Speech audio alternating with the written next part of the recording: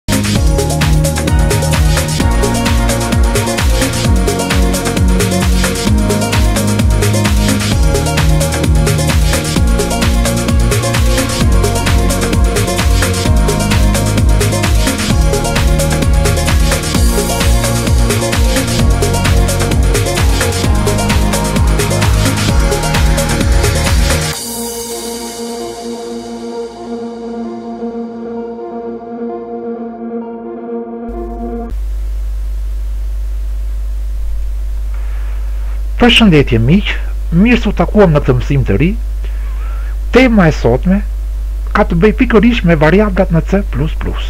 Një temë e një rëndësie jashtëzakonisht të madhe, për faktin e thjeshtë sepse çdo gjuhë programimi pa variabla nuk ka kuptim. Pra variablat janë themi ne shtylla kurrizore e çdo gjuhe programimi dhe pikërisht ne do t'i kushtojmë një vëmendje jashtëzakonisht të veçantë pikërisht kësaj teme, atëherë kalojmë pikërisht te kjo temë, variablat në C++, në këtë kategori. Çfarë janë variablat apo ndryshoret në C++? Kuptimi mbi to. Ndryshe ne kemi thënë variablave që ato janë mbajtës të dhënave, apo siç njihen ndryshe, kontejner. Në C++ ekzistojnë lloje të ndryshme variablash, Si në çfarëdo lloj gjuhë programimi, kryesisht neve variablat i ndajmë në dy lloje, variabla primitive, bazë, dhe variabla kompleks. Por në rastin tonë, ne do merremi kryesisht me variablat bazë, primitive, siç njihen ndryshe ato. Atëherë, ne kemi lloje të ndryshme variablash, të përcaktuara këto me fjalë kyçe të ndryshme. Për shembull, këtu na janë dhënë disa variabla, variablat bazë themi ne kryesore, me fjalën kyçe int, është shkurtim i fjalës integer, ruan numrat e plotë, pra pa shifra dhjetore pas presjes, siç janë për shembull njëqind e njëzet e tre apo minus njëqind e njëzet e tre. Double, ruan numra realë me shifra dhjetore pas presjes, të tilla siç janë për shembull nëntëmbëdhjetë pikë nëntëdhjetë e nëntë apo minus nëntëmbëdhjetë pikë nëntëdhjetë e nëntë. Char ose janë variabla të tipit karakter, ruan karaktere të vetme, siç janë për shembull a e madhe apo a e vogël b e madhe e kështu me radhë, vlerat e karaktereve janë të rrethuara nga thonjza të vetme. String, string, variablat e tipit string përfshihen në program vetëm nëpërmjet një klase të caktuar siç është klasa string, edhe këtu në këto lloj variablash ne ruajmë tekstin, pra të dhëna alfanumerike ku numrat nuk përdoren për veprime aritmetike, shkronja, numra apo karaktere të tjera çfarëdo ku numrat nuk përdoren për veprime aritmetike. Është dhënë një shembull, siç është për shembull përshëndetja nga C++. Vlerat e vargut janë të rrethuara me thonjza të dyfishta. Pra, ne të mundësimi që të dhënat e variablave të tipit string deklarohen dhe vendosen pikërisht midis thonjzave çift. Një variabël jashtëzakonisht e madhe, një variabël jashtëzakonisht e rëndësishme e tipit boolean janë pikërisht fjala kyçe bool që deklaron variablat e tipit booleane Ruan vlerat me dy gjendje, e vërtetë ose e gabuar. Por, si deklarohen variablat, këtu është dhënë një shembull konkret, Sintaksa e deklarimit të një variable është e tillë, pra tipi i të dhënave që përmban variabli, emri i variablit dhe në qoftë se duhet t'i japim vlerë kësaj variable e inicializojmë, pra kjo është e barabartë me vlera dhe çdo deklarim mbaron me një pikëpresje. Deklarimet njihen ndryshe si statement, deklarime, Pra, një, këtu kemi një statement, një deklarim, tipi i të dhënave, emri i variablit dhe vlera që mban ky variabël. Ë pra është dhënë sintaksa, tipi është një nga llojet e C++, për shembull ne mund të themi tipi integer. Emri i variablit është emri i ndryshores, pra si për shembull x apo ndryshe themi ne emri i studentit. Shenja e barazimit përdoret për të caktuar vlerën e ndryshoreve. Pra, ne themi është shenja e vlerë Për shembull, këtu na është krijuar një variabël që duhet të ruaj një numër dhe ne do shohim shembullin më poshtë. Kalojmë pikërisht te ky shembull. Është dhënë një shembull i tillë ku këtu është bërë një deklarim i një variabli, për shembull, variabli i tipit integer. Emri i variablit është numri im, vlera që jepet është 15. dhe këtu është opsioni i afishimit cout numri im. Rezultati sipas tre shembujve do të jetë në rastin tonë i njëjtë në dy rastet e para dhe e, i ndryshëm 10 do jetë në rastin e tretë. Në shembulli i dytë, këtu kemi deklaruar variablin numri im, por pa i dhënë vlerë, kemi bërë vetëm deklarimin. Pra kemi bërë deklarim dhe jo inicializim. Inicializimin e kemi dhënë më poshtë. Pra int numri im numri im baras me 15, afishoj variablin me të njëjtin emër, cout numri im. Në rastin tonë, rezultati do ishte i njëjtë me atë sipër, 15. Si të bëj deklarimin dhe afishimin në shembullin një, si ta bëj në shembullin e dytë, rezultati do jetë i njëjtë. Pra, në të dyja rastet është e njëjta gjë, por neve na intereson që të kursejmë sa më shumë rreshta në programim. Prandaj rekomandohet gjithnjë që kur bëj deklarimin, në shumë raste bëj dhe inicializimin si në shembullin e parë. Në shembullin e dytë jo se është i pavërtetë, por pretendohet që në programe gjithnjë të kursejmë sa më shumë rreshta. Ndërsa në shembullin e tretë, ne vëmë re se nëse i caktojmë një vlerë të re një ndryshoreje ekzistuese, ajo do të mbishkruajë vlerën e mëparshme. Në rastin tonë, këtu kemi deklaruar një variabël me të njëjtin emër, pra numri im baras me pesëmbëdhjetë, Pastaj, por i kemi dhënë dhe vlerë, kemi bërë deklarim dhe inicializim. Në këtë rast numriIm është 15, është bërë një koment. Në rastin e dytë, numriIm pra kemi deklaruar variablin, njëri kemi dhënë vlerën 15, më poshtë kemi bërë ë caktimin e një vlere të re të ndryshores, numriIm tani i kemi lënë vlerën vlerën 10. Kemi bërë afishimin e variablit cout numriIm, por gjithnjë si vlerë afishuese, pra si output do të merret pikërisht vlera e re e ndryshores, vlera e re që i kemi dhënë ndryshores, pra do të merret pikërisht 10. Outputi në këtë rast do të jetë pikërisht 10. Të tre shembujt e dhënë do të ketë këto do të, në të tre shembujt e dhënë ne do kemi këto outpute. Shembulli i parë dhe i dytë do të ketë Në shembullin e parë dhe të dytë do të kemi të njëjtin output, pra të njëjtin rezultat dalës, pesëmbëdhjetë dhe pesëmbëdhjetë, në shembullin e tretë do kemi pikërisht dhjetë. Le ta shohim këtë gjë pikërisht në program. Shkojmë, kemi në code blocks, neve këtu kemi krijuar dy projekte. Projekti i parë variabla C++ a i të, në funksionin tonë kryesor, kemi kaluar pikërisht këtu. Atëherë, përfshijmë disa librari të tjera, të veçanta këtu.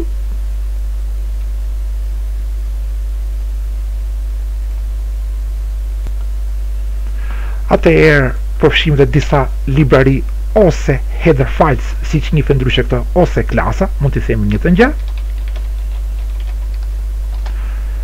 Thurje include po përfshij vetëm dy librari, iomanip, Input Output Manipulation, në këtë rast do të programi do të funksiononte më së miri edhe pa përfshirjen e tyre, por këto do të na duhen. Përfshijmë edhe një librari tjetër, thurje include string. Pra, përfshijmë klasën string. Klasa string klasa string neve na lejon pikërisht për ne na lejon që të që të përfshijmë në program pikërisht variablat e tipit string. Int main, siç e dimë, ky paraqet funksionin kryesor, bëj një koment. Funksioni kryesor funksioni kryesor ose siç e njofim ndryshe programi kryesor.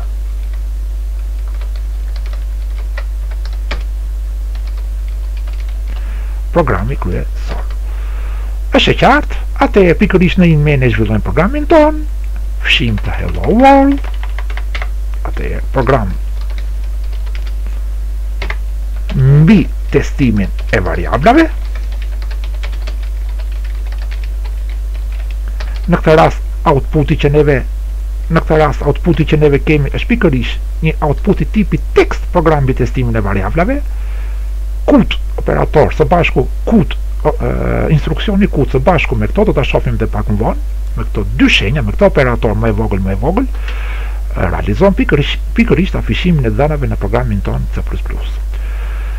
Kemi bërë pak a shumë një parashtrim të situatës në programin që neve do të zhvillojmë, edhe në krye unë mund të bëj një koment, në rastin tonë mund të bëja një koment në shumë rreshta, slash yll, yll slash, dhe mund të thoshim program,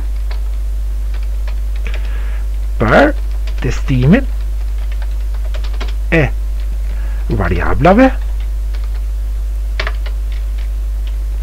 në gjuhën e programimit C++. Komentet që dimë nuk kanë asnjë nuk kanë asnjë ndikim në kodin tonë programit, ato na shërbejnë thjesht për të shpjeguar kodin. Është e qartë dhe atëherë pikërisht unë do shkoj, siç e thamë, te shembujt tonë, ne këtu do deklarojmë kemi marrë tre shembuj, i kam ndarë, në fakt unë mund të marr vetëm njërin shembull duke ndryshuar sintaksën për sa i përket deklarimit të duke ndryshuar pikërisht këtë afishim deklarimin e variablit numri im. Pra, një herë bëj deklarim dhe pastaj bëj ndryshim të vlerës, caktoj një vlerë tjetër dhe rasti i tretë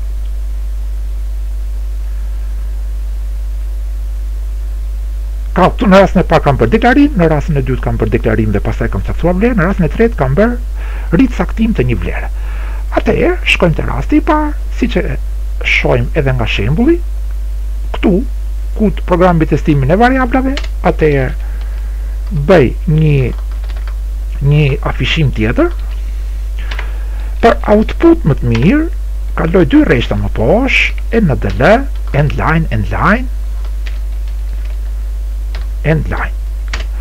Dhe do marrim pikërisht shembullin e parë, gjëja e parë që neve do bëjmë do deklarojmë një variabël, deklarimi bëhet me tipin e të dhënave, int në rastin tonë, me tipin e të dhënave të variablit int emri i variablit numri im dhe kjo është kryesore numri im shohim pikërisht te shembulli im yn numri im dhe kemi dhënë vlerën barazi me 15 pikëpresje në këtë rast ne themi se kemi deklaruar një variabël cout afishoj rezultatin atëherë cout mjafton të them numri im Na mjafton të shkruaj numrin dhe numri im do dalin në mënyrë automatike. Për faktin e thjeshtë sepse ja ku i kemi, sepse është deklaruar ky variabël dhe ne jemi në një compiler, pra në një program IDE i dedikuar për gjuhën C dhe C++. Për output më të mirë mund të thoshja këtu dhe një end line dhe në këtë rast kam bërë një program fare të thjeshtë kur unë do afishoj dy vlera, program mbi testimin e variablave dhe këtu do kemi pikërisht këtë gjë pra kam deklaruar variablin numri im dhe afishimi do jetë cout numri im shohim rezultatin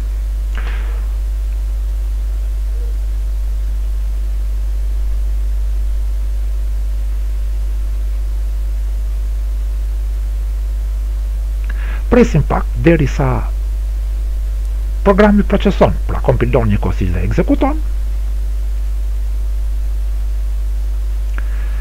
meqenëse ne kemi hapur dy mjedise pune, dy meqenëse kemi hapur dy mjedise pune, pra dy projekte, ne jemi pikërisht në projektin variabla C++ AIT. Ky është emri i projektit në funksionin tonë kryesor. Gjëja e parë që unë do bëj, unë do kompiloj një programin, rekomandohet kjo build compile current file.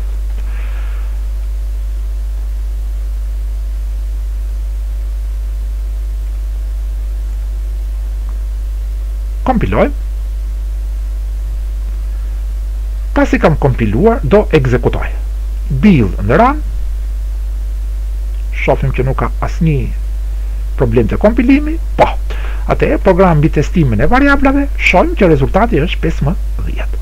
është e qartë.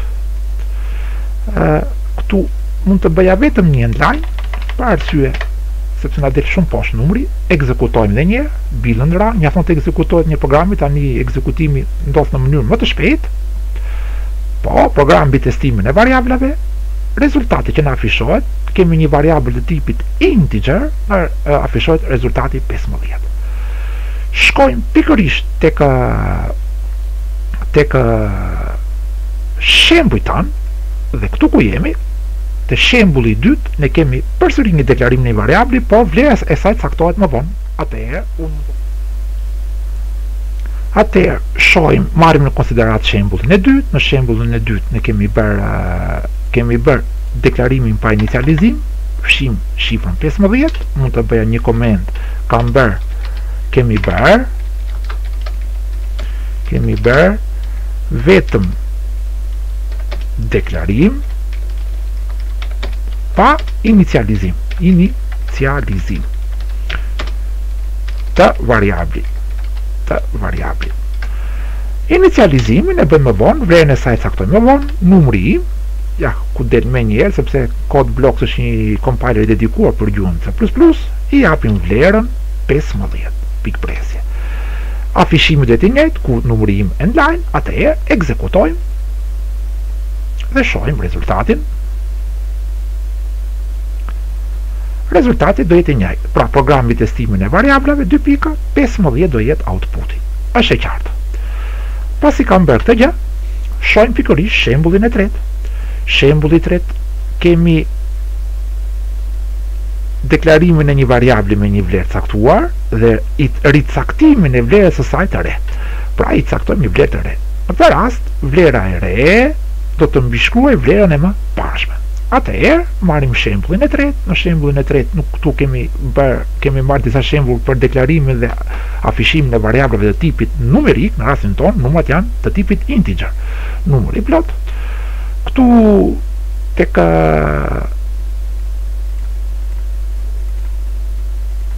ky shembull, pra rasti i tretë, shembulli i tretë, kemi deklaruar variablën numri im, barazim këtu me vlerën 15, më vonë, çfarë kemi, shohim në shembul që vlerës i japim tani jo vlerën 15, po ricaktimi i vlerës do jetë me një vlerë tjetër, atëherë numri im do jetë pikërisht 10.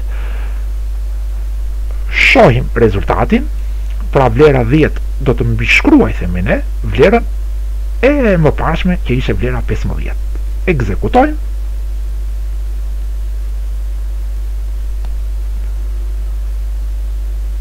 Atëherë, program mbi testimin e variablave, shohim që vlera në rastin tonë është pikërisht 10 dhe jo 15.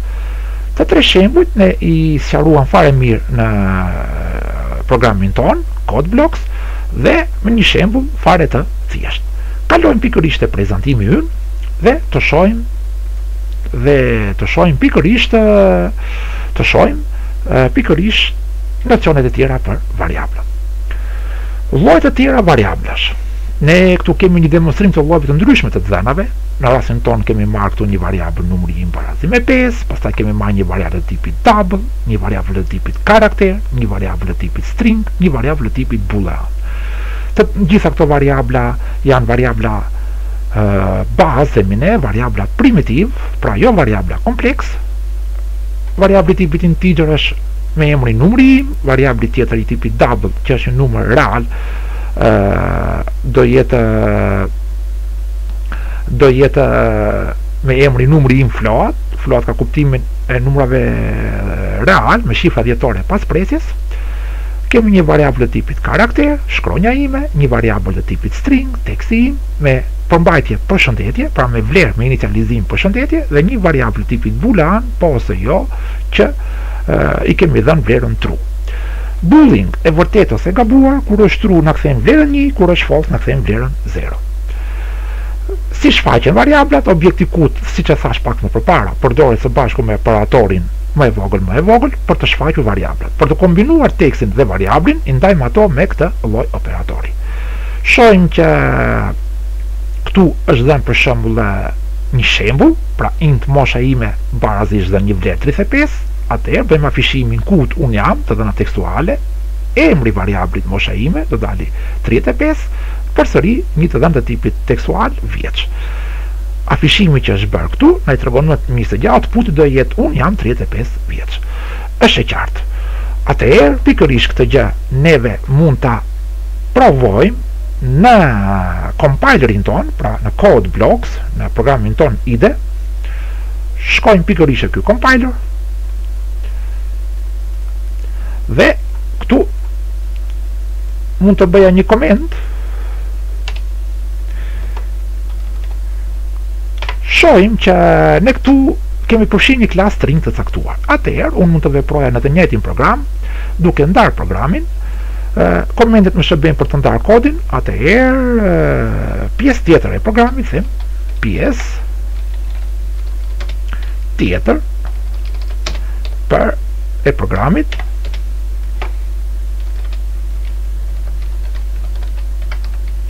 për testimin e njohurive mbi variablat apo siç njihen ndryshe dhe ndryshoret, kemi përfshirë një klasë string, jo më kot e kam përfshirë këtë gjë. Neve shumë bukur, përveç se mund të ndajmë kodin me komente, por ne vetë programin tonë mund ta ndajmë në pjesë, duke përfshirë variablat. Atëherë, unë vetë i përdor shpesh uh, variablat e tipit string, pasi është përdorur klasa string, për të ndarë programin në pjesë të ndryshme. Pra ne kemi të njëjtin program, por me pjesë të ndryshme, ose më saktë, shumë nënprograme brenda të njëjtit kod. Atëherë, le të vazhdojmë. Pa humbur kohë, këtu bëjmë disa korrigjime vetëm, pra duhet vetëm pjesët e programit për për, jo për e për testimin e njohurive mbi variablat. Janë gabime të cilat nuk kanë peshë, nga shpejtësia, atëherë le të vazhdojmë dhe mund mund të deklaroj këtu një variabël tjetër për testimin e njohurive mbi variablat. Unë mund të thoshja këtu një variabël tjetër që do ta titulloja vija ndarëse ose thjesht ndarja. Mund të thoshja string vija ndarëse përdor pikërisht vetinë kamel për emërtimin e variablave në këtë rast ose vetinë deve, ku të gjitha fjalët e ndryshme ndahen nga njëra-tjetra me një shkronjë të madhe. Domethënë, pas fjalës çdo fjalë është me shkronja të vogla, vetëm shkronja e parë e fjalës së dytë që është e ndryshme nga fjala e parë do të fillojë me shkronjë të madhe. Dhe kështu vazhdon me radhë. Pra, vetia kamel mjaft e njohur në përdorimin e emërtimit të variablave, vija ndarëse. Këtu do ta do t'i jepja një vlerë kësaj vije ndarëse.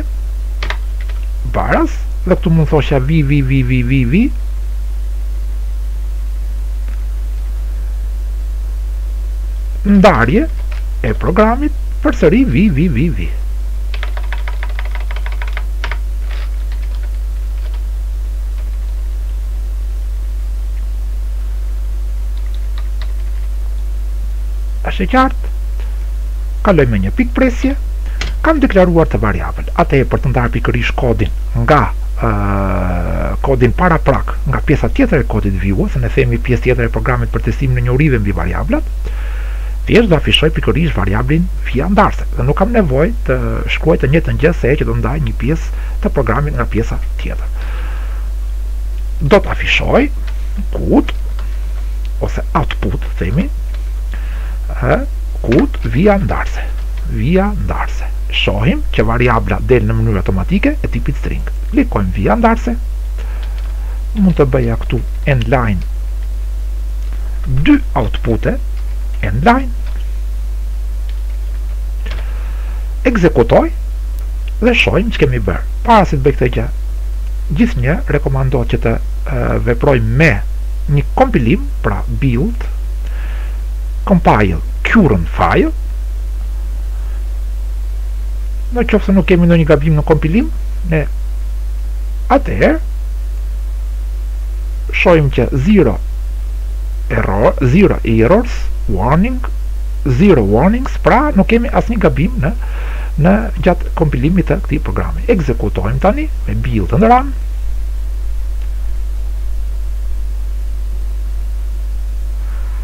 dhe shohim që si pjesë ndarëse tjetër e programit pikërisht na del kjo outputi ndarje me vija të ndërprera atëherë kalojmë në pjesën tjetër të programit për testimin e variablave e mbyllim kalojmë dhe njëherë te prezantim Pra, në prezantimin tonë, kalojmë dhe njëherë në pamjen e full screen prezantimit dhe shohim pikërisht që në këtë pjesë të variablave që neve kemi deklaruar, pra me emërtimet, numri im i tipit integer, numri im float i tipit double, shkronja ime e tipit karakter, teksti im i ti i tipit string dhe po ose jo i tipit bool, shohim vlerat përkatëse pesë, pesë pikë nëntëdhjetë e nëntë, D, përshëndetje dhe true. Me, me komentet përkatëse, atëherë që mos të shkruaj edhe njëherë të njëjtën gjë, në programin tim i, pas, i pasqyroj dhe njëherë këto variabla, siç i kam këtu,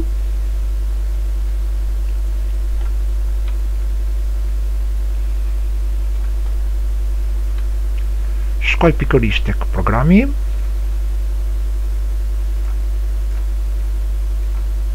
në code blocks dhe këtu shohim që kemi pasqyruar pikërisht këto variabla këto variabla e tipit integer numri im dab numri im float 5.99 integer ruan numra pa shifra dhjetore pas presjes float numra ruan numra me shifra dhjetore pas presjes char shkronja ime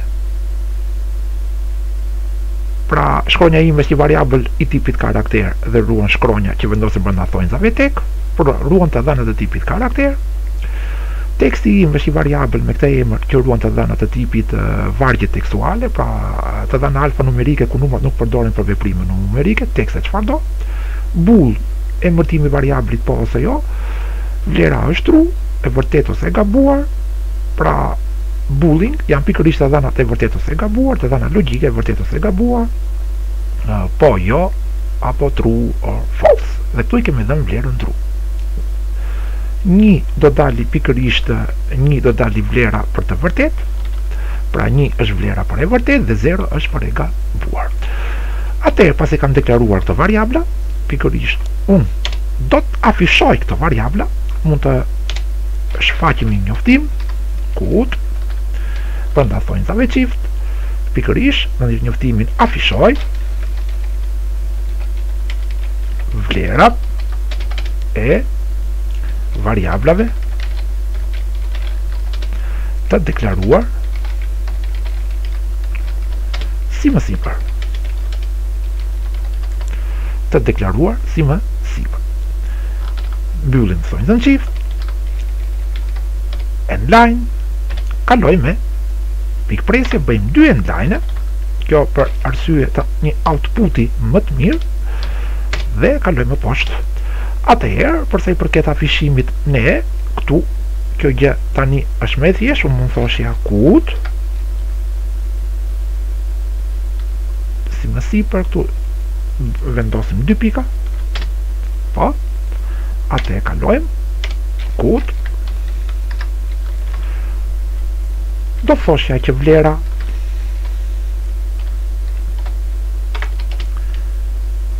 e variablit vlera e variablit vlera e variablit në thonjëza tek tani për ta dalluar një çik numri numri numri im numri im unë po bëj një kopi, thjesht një kopi, ctrl C e variablit numri im ctrl V, dhe këtu do thosha numri im, përsëri në thonjëza tek, që mos ngatërrojmë me variablin, është dy pika, mbyllim thonjëza çift, lëmë, pra lëmë një hapësirë dhe mbyllim thonjëza çift, përsëri output, output, dhe këtu mjafton të shkruajmë emrin e variablit, numri im numri im dhe në mënyrë automatike meqenëse kemi një program IDE të dedikuar për gjuhën C C++ pra shohim këtu që numri im është i tipit integer, klikoj këtu dhe në këtë mënyrë unë kam pikërisht të afishuar emrin e variablit ashtu siç e kam deklaruar end line. në mënyrë që mos të shkruaj të njëjtën gjë sa herë.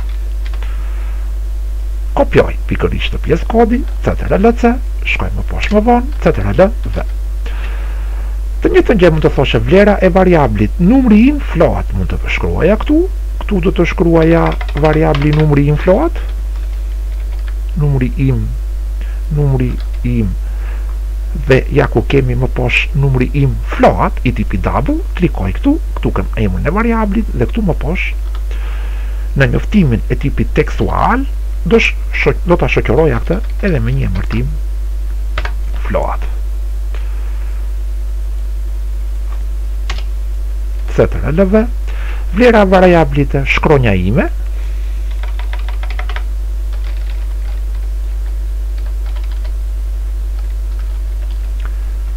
shkronja ime do të jetë pikërisht do të shkruaj emrin e variablit shkronja ime shkronja ime që është e tipit karakter përsëri e kopjoj ctrl v do thosha vlera e variablit teksti im në këtë rast këtu teksti im ndryshon vetëm emrin e variablit teksti teksti im është pikërisht dhe këtu do të shkruaj emrin e variablit dhe nuk kam nevojë ta shkruaj, mjafton të shkruaj vetëm disa karaktere, Në fillim, teksti, teksti, teksti im, po ta shihni në momentin që shkruaj teksti, del në mënyrë automatike emërtimi i variablës me tipin e të dhënave që ajo mban. Klikoj këtu, teksti im, dhe në fund fare kemi pikërisht deklarimin e variablit ctrlc, ctrlv,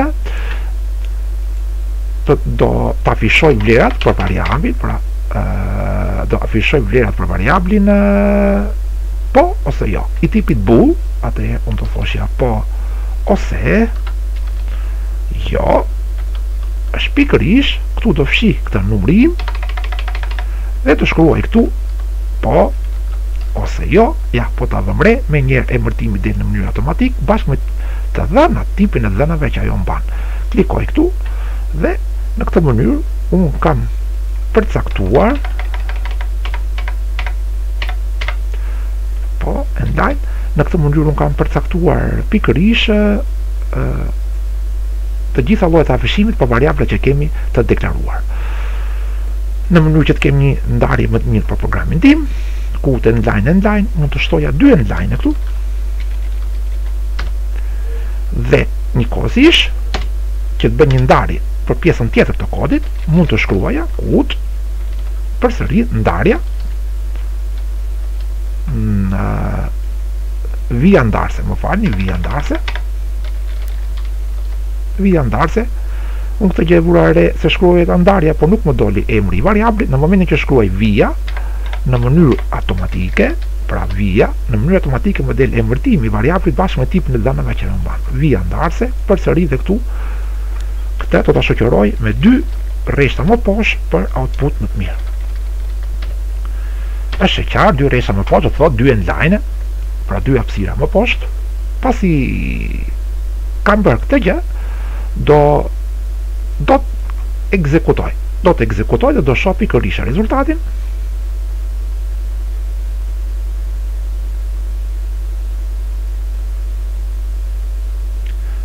E mirë është të bëhet dhe një kompilim, po meqenëse kompilimi është bërë më përpara, po është e vërtetë. Atëherë program mbi testimin e variablave, dhjetën kishim këtu shifrën që na dilte në ekzekutimin e parë, kemi një ndarje të programit, afishojmë vlerat e variablave të deklaruar si më sipër dhe shohim që vlera e variablit numri im është 5. Kemi një numër të tipit integer, numër i plotë, vlera e variablit numri im float është i tipit numër real 5.99 Vlera e variablit shkronja ime është dë, vlera e variablit teksti im është përshëndetje, vlera e variablit po ose jo është një. Pra, sepse ne i dhamë vlerën true. Përsëri kemi si output të dhënat për një variabël të tipit string që ne e titulluam vija ndarëse, pra afishimi i vlerave të këtyre variablave është bërë ndërmjet dy ndarjeve.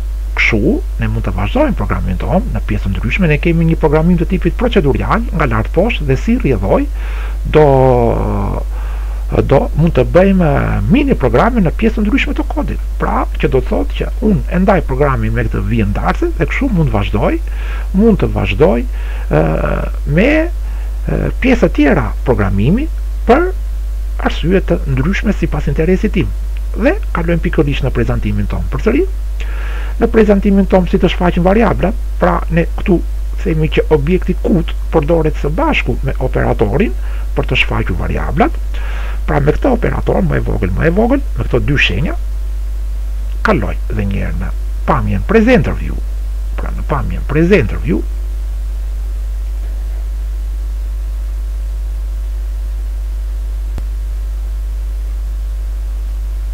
kam kaluar në pamjen presenter view, po shfaqjen e variablave do kemi pikërisht këtë gjë në konsideratë. Cout. Përdoret së bashku me operatorin output, unë i them output këtu, por në fakt këto janë futjet e dhënave që do dalin. Pra duket si koncept abstrakt, pra si, si fjali kundërshtuese, por në fakt kështu është, pra me operatorin më e vogël, më e vogël, ndërsa për të kombinuar tekstin dhe variablin i ndajmë ato pikërisht me këtë.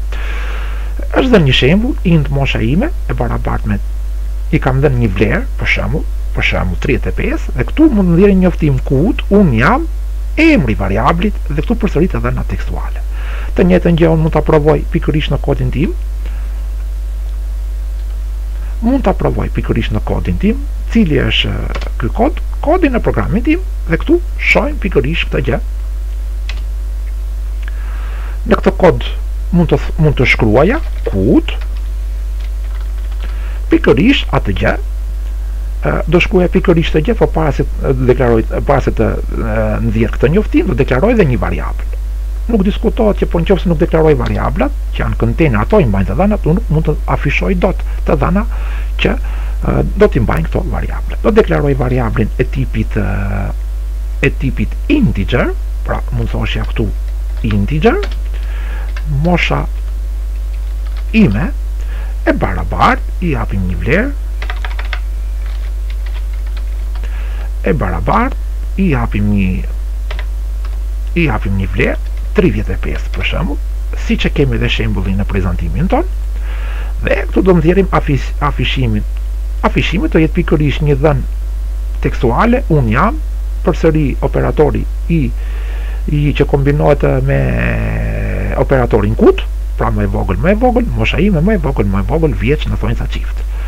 Atëherë, unë mund të thoshja, unë jam në thonjëza çift, përsëri më e vogël, më e vogël, sipas detyrës që kemi, këtu do shkruaj emrin e variablit, siç e shohim, mosha ime del në mënyrë automatike sepse është deklaruar pikërisht me këtë emër e tipit integer dhe përsëri operatori më e vogël më e vogël që siç e shohim ky lloj operatori është i kombinuar me operacionin cout dhe këtu do thoshja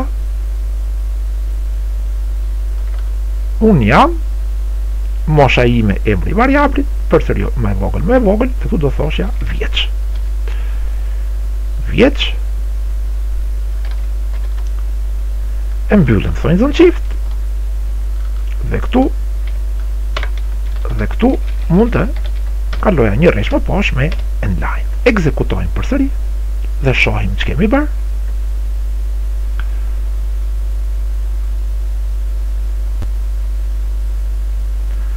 Atëherë, po ta shohim që kemi program mbi testimin e variablave, është afishuar një vlerë, ndarje e programit, afishoj vlerat e variablave të deklaruar si më sipër, këtu kemi variabla të tipeve të ndryshme, që kryesisht janë tipe primitiv, tipit integer, tipit float, tipit karakter, tipit te, string tekstual dhe e vërtetë ose e gabuar. Pra vlera e variablit numri im është 5, vlera e variablit numri im float është 5.99, vlera e variablit shkronja ime është D, vlera e variablit teksti im është përshëndetje, vlera e variablit po ose jo është 1. E ndaj përsëri programin dhe këtu do kemi përsëri outputin unë jam 35 vjeç. Ka një diçka sepse nuk kemi një kodifikim do ta bëjmë me C vjeç, këtu për output më të mirë lëmë një hapësirë, e njëjta gjë edhe këtu lëmë një hapësirë, ekzekutoj përsëri dhe ndryshimet, çdo ndryshim që neve bëjmë na pasqyrohet pikërisht në ekzekut në programin tonë të ekzekutuar dhe ja ku kemi outputin unë jam 35 vjeç. Është e qartë besoj.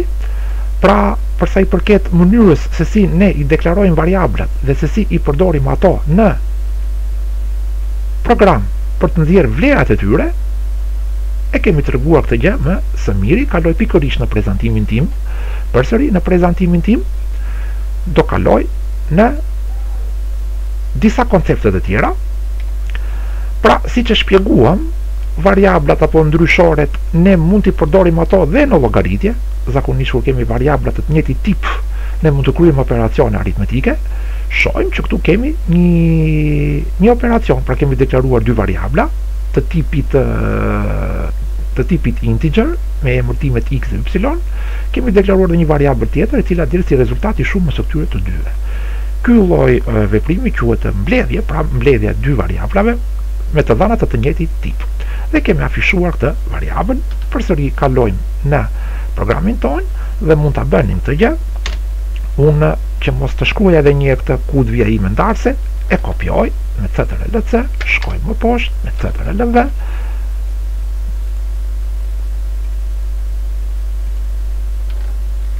me CTRL-V, dhe këtu mund të mund të shkruaja pikërisht të njëjtin program. Pra, kam deklaruar dy variabla të tipit integer, mund të thosha meqenëse kemi të njëjtin tip, pra integer, mund të thosha x integer, x barazim me me dy shifra çfarëdo mund të marrim këtu meqenëse kemi tipit integer unë kam marrë këtu 5 dhe 6 integer barazi me 5 pikëpresje përsëri një integer ypsilon barazi me 6 pikëpresje kam deklaruar dhe një variabël tjetër int e cila është emërtuar shuma e tyre shuma e kjo do të jetë e barabartë unë në këtë mënyrë bëj edhe deklarimi kohësisht por po bëj dhe veprim Shuma do të jetë e barabartë me x plus y. x plus y dhe në fund fare çfarë do bëj? Do afishoj pikërisht rezultatin. Atëherë, a rezultati që do jetë do jetë i tillë. Pra, cout shuma e dy numrave të deklaruar, shuma është mund të shkruaja këtu ose do ndjekim pikërisht të parit që këtu thjesht është afishuar rezultati, por unë për output më të mirë mund të thoshja shuma e dy numrave 5 dhe 6 është përsëri mbyll një thonjëz çift output output mund të shkruaj këtu shuma kalojmë endline pikëpresje Këtu mund të kopjoj përsëri këtë kod vija ndarëse. CTRL C, kalojmë më poshtë, që të ndajmë programin me CTRL V, dhe është e qartë. Atëherë, po ta shohim dhe po ndjekim një programim procedural nga lart poshtë, ku në pjesë të ndryshme, duke ndarë pjesët e kodit me vijë ndarëse, unë arrij të pasqyroj afishime të ndryshme. Ekzekutojmë përsëri,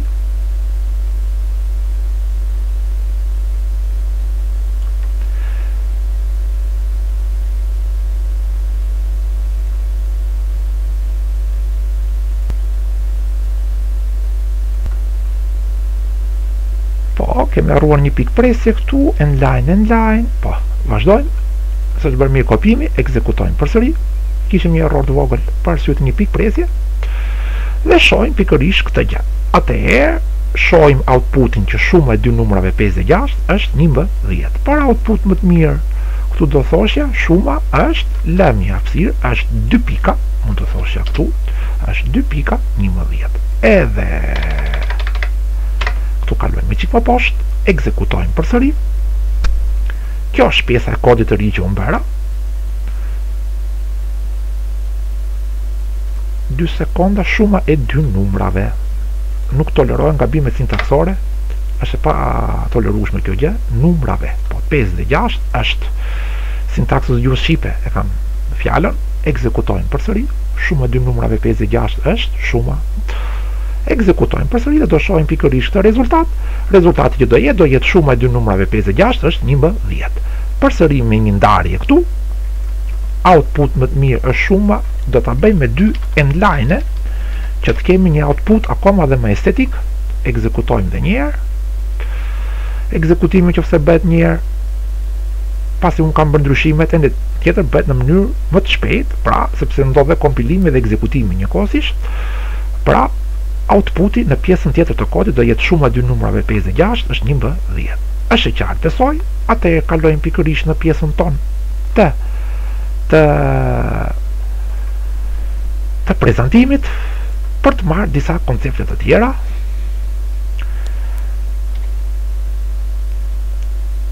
atëherë identifikuesit në C++ ne këtu na futën disa koncepte të tjera duket sikur janë e njëjta gjë identifikuesit me variablat por në fakt identifikuesit nuk është nuk janë asgjë tjetër vetëm emrat e variablave emërtimet e tyre Ne variablat i kemi me të tipeve të ndryshme, por ata dallojnë nga njëri-tjetri, mund t'i dallojnë nga njëri-tjetri nëpërmjet identifikuesve ose emrave të tyre. Pra, të gjithë variablat C++ duhet të identifikohen me emra unikë, këta emra unikë quhen identifikues, identifikuesit mund të jenë emra të shkurtër, siç janë për shembull x dhe y, siç vepruam më sipër, apo emra përshkrues, për shembull mosha, shuma, vëllimi total, etj, etj. Rekomandohet përdorimi i emrave përshkrues për të krijuar një kod të kuptueshëm dhe të mirëmbajtur. Siç e shohim këtu, siç e shohim këtu, na është dhënë një shembull, për shembull kjo është shumë mirë, pra mirë, në qoftë se unë kam deklaruar variablen në mënyrë të tillë, int tipi i të dhënave, minuta për orë është identifikuesi, pra ky është em, identifikuesi i variablit dhe këtu është dhënë vlera. deklarimi në mënyrë të tillë është bërë shumë i saktë kemi një identifikues përshkrues pra emra përshkrues ndërsa në rastin e dytë ne e kemi në rregull si deklarim por nuk është e lehtë për t'u kuptuar se çfarë është konkretisht çfarë tregon ky variabël minuta për orë na tregon që na tregon sa minuta ka ora dhe kemi dhënë 60 ndërsa në rastin e dytë unë këtë gjë nuk e di në rastin e dytë nuk rekomandohet emërtimi apo identifikimi i variablave në mënyrë të tillë, në mënyrë të shkurtuar. Jo se është gabim, por nuk rekomandohet. Atëherë, kemi disa rregulla të përgjithshme për emërtimin e variablave.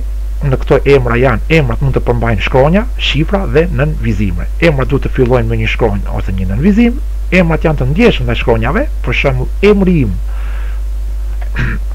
ku im është quajtur me i-ja është e vogël, kemi dy i të vogla dhe këtu emri im, një i është e vogël dhe i është e madhe, janë variabla totalisht të ndryshëm, sepse identifikatorët janë të ndryshëm, kjo për arsye sepse gjuha C++ është një gjuhë case sensitive e ndjeshme ndaj shkronjave të mëdha dhe të vogla. Emrat nuk mund të përmbajnë hapësira të bardha ose karaktere speciale siç janë për shembull pikëçuditëse, thurje, përqindje etj etj. Kjo gjë është e palejueshme Dhe gjithashtu fjalët e rezervuara, siç janë fjalët kyçe në C++, si për shembull integer apo bool që mund themi ne, apo string, këto nuk mund të përdoren si emra variablash. Pra këto janë disa rregulla të përgjithshme për të emërtimin e variablave, ne mund themi disa rregulla të përgjithshme për e, identifikatorët, pra për të përcaktuar identifikatorët. Konstantet në C++, kur neve nuk dëshirojmë që të tjerët ose ne vetë të anashkalojmë vlerat ekzistuese të ndryshoreve, përdorim fjalën kyçe const. Ose konstante. Kjo do të do të deklarojë variablin si një konstante, që do të thotë e pandryshueshme dhe vetëm për lexim. Gjithmonë duhet të deklarojmë variablin si konstant kur kemi vlera që nuk ka gjasa të ndryshojnë. Konstantet ë në gjuhën C++ deklarohen me fjalën kyçe const shoqërohen me tipin e të dhënave që do mbajë kjo konstante, emrin ose identifikatorin dhe në qoftë se ka vlerë një vlerë të caktuar. Dhe jo në qoftë se ka vlerë, po dhe me vlerën e caktuar. Këtu janë bërë dy deklarime, për shembull, const int minuta për orë barazi me 60. Kjo do të thotë që ora ka vetëm 60 minuta dhe vlera e kësaj nuk ndryshon. Apo është deklaruar dhe një variabël me emrin pi, që është pikërisht numri i famshëm pi i barabartë me 3.14. E para është e tipit integer, që tregon një numër të plotë, konstantja e dytë e tipit float, që tregon një numër real, por me madhësi më të vogël pi e barabartë me 3.14. Si përdoren këto nëpër ushtrime apo problema? Në rastin tonë, këtu na është dhënë një shembull. Na është dhënë një shembull ku kam bërë një shembull më saktë, ku kam përdorur një ushtrim fizik dhe kam përzierje informatike. Për shembull, Programi është bërë një koment me shumë rreshta, program, përdorimi i variablave dhe konstanteve C++. Ky program është një program llogaritës. Kam përfshirë disa librari, në rastin tonë kam përfshirë vetëm tre librari ku e para është e detyrueshme, thuri include iostream dhe thuri include iomanip thuri include string. Kam përdorur përdorimin e hapësirave globale në C++, që është pikërisht uh, using namespace std dhe në funksionin tonë kryesor kam bërë disa njoftime. Tek këto njoftime janë pikërisht kërkesat e programit, pra të dhënat dhe kërkesa njëkohësisht. Kut, makina lëviz me një shpejtësi konstante dyzet pikë pesë kilometra në orë në një trajektore rrethore.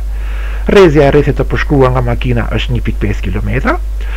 Sa është perimetri dhe sipërfaqja e rrethit të përshkruar nga makina në një rrotullim? Për sa kohë e përshkruan makina trajektoren e tillë që të arrijë në pikën ku u nis? Pra ky problem do të përfshijë në mënyrë shumë të mirë ato që quhen konstantet, se si do t'i përfshijmë konstantet neve në program, por njëkohësisht edhe variablet. Një program mjaft formues, në prezantimin tonë vazhdon më poshtë është pjesa tjetër e kodit, e cila nuk del, dhe po të vazhdoj akoma më poshtë, është pikërisht uh, outputi, pra rezultati që merret pikërisht nga kjo, nga ky program. Për ta kuptuar më mirë këtë gjë, ky program është bërë pikërisht në projektin tonë, në kodin tonë. Tjetër është pikërisht këtu tek variablat C++ W3 schools, kështu e kam emërtuar unë projektin W3 schools.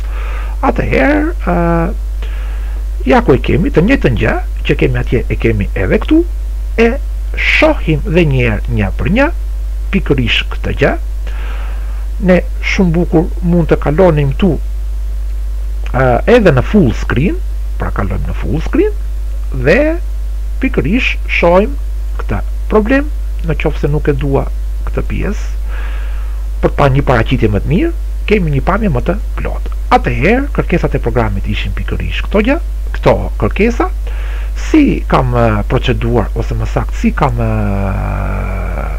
si e kam zgjidhur këtë problem në fillim fare do të deklaroj variablat dhe konstantet kam deklaruar një kam deklaruar tre konstante të tipit float e para është shpejtësia e, që është konstante e barabartë me 40.5 pra makina lëviz me shpejtësi konstante 40.5 km për orë e dyta është rrezja e rrethit që përshkruhet nga makina e pra e trajektores rrethore që përshkruan makina që e kam marrë me 1.5 dhe kuptohet që këto janë kilometra sepse nga kërkesat ne kemi kilometrat dhe kam deklaruar një konstante tjetër që është pikërisht konstantja e njohur pi me vlerën 3.14 siç e njohim gjithashtu kur variablat i kemi të të njëjtit tip ne mund t'i deklarojmë ato në një rresht shumë bukur unë këtu mund të bëja edhe një koment atëherë deklaroj variablat në të njëjtin rresht. Deklaroj variablat në të njëjtin rresht. Atëherë kemi tre variabla sepse çfarë na kërkohet sa është perimetri dhe sipërfaqja e rrethit të përshkruar nga makina në një rrotullim dhe për sa kohë e përshkruan makina trajektoren të tillë që të arrijë në pikën ku u nis. Atëherë na duhet koha, sipërfaqja dhe perimetri. Këto unë i kam deklaruar të të njëjtit tip, të tipit float një numër çfarëdo mund dali atëherë meqenëse janë të të njëjtit tip i deklaroj në një rresht të vetëm për output më të mirë kam manipuluar me variablin string që kam emërtuar vija ndarëse gjithashtu kam deklaruar dhe një variabël tjetër string që është zgjidhja e problemit llogaritja përfundimtar gjithashtu kam deklaruar dhe një variabël tjetër string për fundin e programit kjo për të patur një output më të rregullt dhe për të ndarë kodin Atëherë me disa manipulime ku endline endline kaloj në rreshta më poshtë, një vijë ndarëse, këto janë për outpute më të mira. Këtu gjithashtu te zgjidhja, zgjidhja caktoj një pjesë të kodit ku më jepet pikërisht zgjidhja dhe siç e dimë në lëvizjen ne kemi lëvizje rrethore të njëtrajtshme në lëvizjen rrethore të njëtrajtshme ata që kanë njohuri fizike është e qartë që trupi përshkruan lëvizje lineare apo dhe lëvizje këndore. Në rastin tonë, ne na kërkohet sipërfaqja, pra do na duhet pikërisht çfarë sipërfaqe, këtu nuk ka të bëjmë shumë fizika, por na duhet matematika, dhe siç e dimë sipërfaqja e një rrethi është e barabartë me pi r në katror. Rrezja është e dhënë, konstantja pi është e dhënë, kështu që unë thjesht kam bërë shumëzimin pi që shumëzon r r duke përdorur operatorët aritmetikë. E njëjta gjë për perimetrin, 2 pi r dhe perimetri llogaritet pikërisht me këtë formulë nga matematika, dhe në lëvizjen rrethore, në lëvizjen rrethore të njëtrajtshme, ne mund të themi kemi një lëvizje të njëtrajtshme, ne e dimë që koha që do të do t'i duhet trupit në një rrotullim, do të jetë pikërisht pra koha që do t'i duhet trupit që të kryejë një rrugë sa perimetri i rrethit, do të jetë e barabartë me vetë perimetrin pjesëtim pjesëtim për shpejtësinë. Duke nga formula e njohur, rruga është e barabartë me rruga që përshkruan një pikë materiale apo një trup është e barabartë me shpejtësi herë koha. Si rrjedhojë, koha do të jetë e barabartë me rrugën që përshkruan pikërisht makina, që është vetë në një rrotullim është vetë perimetri i rrethit e gjitha kjo përmbi shpejtësinë konstante. Pasi kam bërë llogaritjet, pra unë këtu kam bërë llogaritje, ja ku kam bërë dhe komentin, kryej llogaritjet duke përdor variablat dhe konstantet e deklaruara, atëherë afishoj pikërisht rezultatet përkatëse. Në këtë lëvizje rrethore të njëtrajtshme nga të dhënat dhe llogaritjet kemi pikërisht këto rezultate, sipërfaqja e përshkruar nga makina do të jetë sip, emri i variablit, përsëri në të dhënat tekstuale do kemi kilometra, endline, e njëjta gjë për perimetrin, e njëjta gjë për kohën. Në fund fare, për output më të mirë kam nxjerrë pikërisht fundin e programit. Atëherë, për këto të dhëna që ne kemi për shpejtësi konstante 40.5 kilometra dhe rreze të rrethit prej 1.5 kilometra, unë bëj pikërisht Këtë afishim, meqenëse tema kishte të bënte më shumë, ka të bëjë pikërisht me më shumë për deklarimin, konceptin, deklarimin dhe afishimin e variablave dhe konstanteve. Na dy sekonda se na del na del pikërisht programi i parë. Gjëja e parë që unë do bëj, do të deklaroj, do të bëj një kompilim, pra tek build, compile, current file, jam sepse kemi hapur dy projekte. Pasi bëj kompilimin, shoh ekzekutimin, outputin pra po atëherë shofim që në pjesën e parë kemi të përshkruar problemin dhe kërkesat që na që shtrohen në këtë problem, pra atë pyetjet, kërkesat që shtrohen në këtë problem, çfarë duhet zgjidhim? Ndarja, zgjidhja e problemit duke përdorur variablat e tipit string. Këtu na është dhënë zgjidhja nga llogaritja që ne kemi përdorur, nga formula që kemi përdorur në kod, Na është dhënë zgjidhja, atëherë në këtë lëvizje rrethore të njëtrajtshme nga të dhënat dhe llogaritjet kemi këto rezultate. Sipërfaqja e përshkruar nga makina është shtatë pikë zero gjashtëdhjetë e pesë kilometra. Perimetri apo rruga lineare e përshkruar nga makina është pe, perimetër, pra barabartë me nëntë pikë dyzet e dy kilometra dhe koha që i duhet makinës për një rrotullim është është zero pikë afërsisht tridhjetë, më fal, zero pikë njëzet e tre orë. Pra, po ta shohim që ne kemi respektuar këtu edhe njësitë, kilometra dhe orë. Fundi i programit dhe këtu kemi bërë një zgjidhje mjaft të mirë të problemit duke përdorur matematikën, duke përdorur informatikën, pra një ushtrim fizik kemi dhënë zgjidhje nëpërmjet një programi informatik. Këto për dhëna konstante që ne këtu kemi përdorur variabla dhe konstantet dhe kemi përdorur pothuajse mënyra të ndryshme outputi pra të afishimit të të dhënave të tipeve të ndryshme. Miq të dashur, ky ishte mësimi për sot, një mësim shumë kyç, një mësim kryesor, mjaft i rëndësishëm, besoj se kam qenë mjaft i kumtushëm dhe besoj se kam bërë një shpjegim dhe një një shpjegim mjaft të qartë, një dhe për sa i përket koncepteve, ato të jenë të jenë të jenë të sqaruara në mënyrë të plotë dhe të qartë. Mirupafshim dhe mirutakofshim në mësimet e tjera.